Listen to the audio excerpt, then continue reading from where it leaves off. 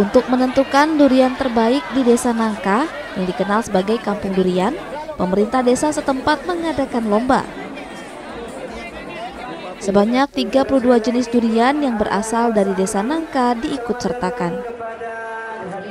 Sadit Holib salah satu peserta merasa senang dengan adanya lomba ini karena membantu mempromosikan duriannya agar lebih dikenal. Suwito Pratomo, salah satu peserta berharap lomba durian lokal tersebut digelar secara rutin. Senang nggak dengan adanya lomba durian di tingkat desa?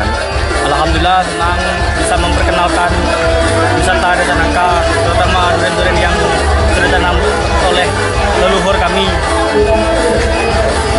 durian yang dilombakan tadi durian dari kelekak leluhur ya?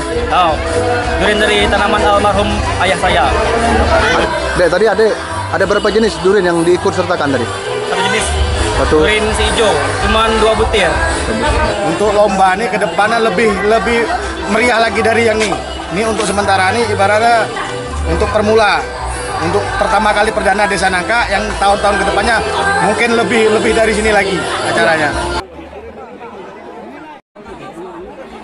Kepala Desa Nangka Bayumi Ar mengatakan lomba durian lokal tersebut diharapkan berdampak positif bagi warganya. Untuk durian yang dilombakan tadi ini sangat bervarian sekali. Jadi saya sendiri mungkin bingung untuk menyebutkannya. Namanya-namanya Sudah kampung. sama kan ini tadi Sebut salah satunya, ya? salah satu yaitu adalah durian ais kinceng. Nah, itu ais kinceng. Kita juga mungkin heran mendengar, tapi ini adalah warisan budaya dan moyang desa Nangka seperti itu. Batang lame, Jo. Pesertanya dari mana saja nih? Untuk pesertanya ini adalah peserta lokal, ini adalah masyarakat dari desa Nangka sendiri.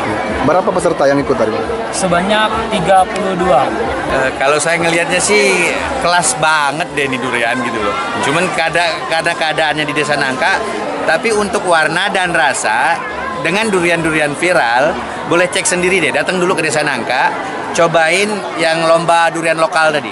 Dan itu duriannya petani-petani lokal sini. Tapi soal cita rasa, model dan bentuk sama yang viral-viral itu nggak kalah. Makanya lebih baik mendingin di, dicobain sendiri deh. Kalau katanya kan kan nggak lengkap nih. Nah, coba datengin Pak Kadesnya, cari salah satu aja durian yang tadi ikut dilombakan. Karena rata-rata yang dilombakan tadi saya icip sedikit-sedikit karena nggak berani makan banyak. Karena yang berlebihan tuh tetap aja nggak enak kan gitu. Dan rasanya nggak kalah kok gitu. Desa Nangka merupakan salah satu penghasil durian kualitas terbaik di Bangka Belitung. Tak mengherankan, saat musim durian tiba, desa ini ramai dikunjungi warga yang ingin membeli durian langsung dari kebunnya. Rusdianto melaporkan dari Bangka Selatan. Wah, lo nilai kena itu?